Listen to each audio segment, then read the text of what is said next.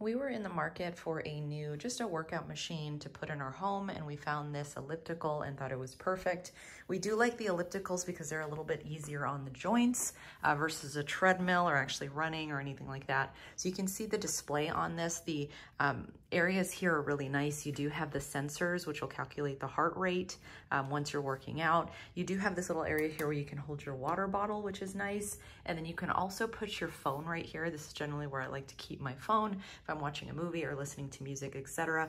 The handles are very nice as well. They're very easy to grip, as you can see here with this almost like rubber coating.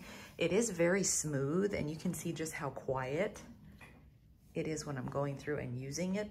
You do have different modes on here and you can just see the information that it's capturing, the speed, the distance, the calories, and then your heart rate as well. You do have uh, several levels that you can go up and down to. There's some programmable workouts in here that you have access to, and then you can just change that as needed. So very happy with this machine. Again, we've had it for probably about two years now, and it is working very well and has lasted nicely. Um, one other thing to note on here, you do have this part on the bottom that's really anti slip, so you're not gonna kind of be rolling back and forth. And then when we did get this, we were happy that it had these wheels on it. So you're able to move it nicely if you need to put it into another room as needed. So very happy with this overall and definitely recommend if you're in the market for a, an elliptical.